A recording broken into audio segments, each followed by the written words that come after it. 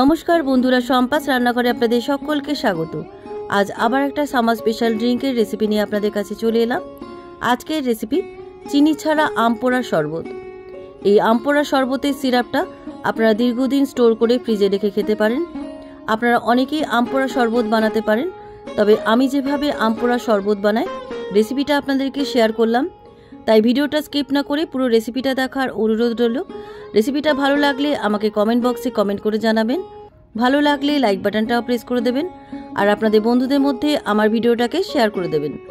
আর আমার নতুন বন্ধুদের কাছে অনুরোধ, আমার চ্যানেলটাকে সাবস্ক্রাইব করে পাশে থাকবেন। আর আমার চ্যানেলে নতুন নতুন রেসিপি দেখার জন্য পাশে থাকা ছোট্ট বেল আইকনটাও প্রেস করে দেবেন। চলুন আর কথা না বাড়ি কীভাবে আজকে চিনি ছাড়া আম পোড়া শরবত বানাচ্ছি রেসিপিটা দেখে নেওয়া যাক। আম পোড়ার শরবত বানানোর জন্য আমি এখানে দুটো কাঁচা আম নিয়েছি। এবার এই আমের মুখটা একটু ছুরি দিয়ে কেটে নিচ্ছি। আম দুটো আমি গ্যাসে পুড়িয়ে নেব, আপনারা উনুনেও পুড়িয়ে নিতে পারেন। এবারে আম দুটো পোড়ানোর জন্য আমি গ্যাস ওভেনে একটা রুটি শাকার জালি বসিয়ে দিলাম। রুটি শাকার জালির উপরে আম দুটো বসিয়ে দিলাম আর দুটো কাঁচা লঙ্কা দিলাম। আম আর কাঁচা লঙ্কাগুলো পুড়তে থাকুক, ততক্ষণে আমি মিশ্রিগুলোকে মিক্সিতে গ্রাইন্ড করে নিচ্ছি। যেহেতু আমি চিনি ছাড়া আমের শরবত বানাবো, তাই আমি মিচড়ি দিয়ে বানাচ্ছি। মিচড়িটা মিক্সিতে গ্রাইন্ড করা হয়ে গেছে। দেখুন, একদম মিহি করে গ্রাইন্ড করে নিয়েছি। এবার মিচড়িটা সাইডে থাক। এবার দেখে নিই আমগুলো কতটা পুরো আমগুলো আমি উল্টে দিচ্ছি। আমগুলোকে উল্টে পাল্টে আমি ভালো করে পুড়িয়ে নিচ্ছি।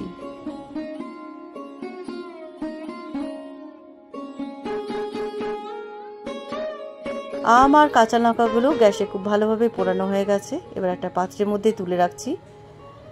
আমগুলো ঠান্ডা হওয়ার পর আমি আমের খোসাগুলো ছাড়িয়ে নেব। আমগুলো ঠান্ডা হয়ে গেছে, এবার আমি খোসাগুলোকে ছাড়িয়ে নিচ্ছি।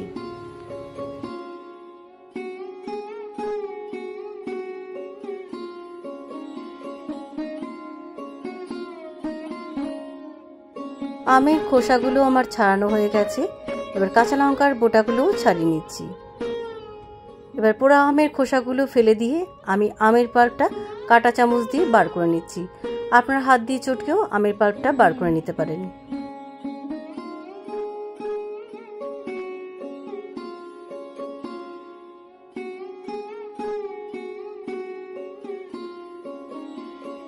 দুটো আমের থেকে পাল্পগুলো আমার বার করা হয়ে গেছে। এবার আটিগুলো আমি ফেলে দিচ্ছি।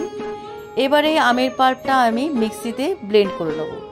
একটা মিক্সির জারের মধ্যে আমি আমের পাল্পটা ঢেলে দিলাম। এবারে এই মিক্সির জারের মধ্যেই দিয়ে দিচ্ছি টু টেবিল স্পুন গুঁড়ো মিচড়ি মিষ্টিটা আপনাদের স্বাদ অনুসারে দেবেন, কম বেশি যে যেমন খান। এবারে দিয়ে দিলাম হাফ টিস্পুন বিট লবণ আর দিয়ে দিলাম হাফ টিস্পুন ভাজা জিরের গুঁড়ো। এবারে দিয়ে দিলাম অল্প একটু ফ্রেশ পুদিনা পাতা আর দিয়ে দিলাম দু ফোঁটা গ্রিন ফুড কালার এটা অপশনাল আপনারা নাও দিতে পারেন। এবার সমস্ত কিছু আমি মিক্সিতে ব্লেন্ড করে নিয়ে আসছি। মিক্সিতে আমার ব্লেন্ড করা হয়ে গেছে। এবার এই আম পোড়ার মিক্সারটা একটা কাঁচের বোলের মধ্যে ঢেলে রাখছি। এইভাবে আপনারা অনেকটা করে বানিয়ে কাঁচের জারের মধ্যে ভরে আপনারা ফ্রিজে অনেক দিন সংরক্ষণ করে রেখে দিতে পারেন। দেখুন, এভাবে কাঁচের বোলের মধ্যে আমি ঢেলে রাখলাম। এটাকে আমি ফ্রিজে স্টোর করে রেখে দিচ্ছি। এবার আমি শরবতটা বানিয়ে দেখাচ্ছি। একটা কাঁচের গ্লাসের মধ্যে আমি কয়েক টুকরো বরফ দিয়ে দিলাম। এবার এই বরফের উপরে দিয়ে দিচ্ছি আমি টু টেবিল স্পুন আম পোড়ার মিক্সচার এবার গ্লাসের মধ্যে ঠান্ডা জল দিয়ে দিলাম।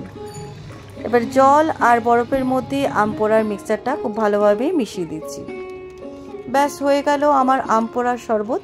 দেখলেন তো কত সহজে আম পোড়ার শরবত বানানো যায়। আপনারা যদি এভাবে মিক্সারটা বানিয়ে রাখেন তাহলে যখন খুশি আম পোড়া শরবত বানিয়ে খেতে পারবেন। কেমন লাগল আজকের এই চিনি ছাড়া আম পোড়া শরবতের রেসিপি আপনারাও এভাবে আম পোড়ার মিক্সারটা বানিয়ে দীর্ঘদিন স্টোর করে যখন খুশি আম পোড়া শরবত বানিয়ে খেতে পারবেন এবং সকলকে খাওয়াতে পারবেন। রেসিপিটা কেমন লাগল আমাকে কমেন্ট বক্সে কমেন্ট করে জানাবেন। ভালো লাগলে লাইক বাটনটা প্রেস করে দেবেন আর আপনাদের বন্ধুদের মধ্যে আমার ভিডিওটাকে শেয়ার করে দেবেন।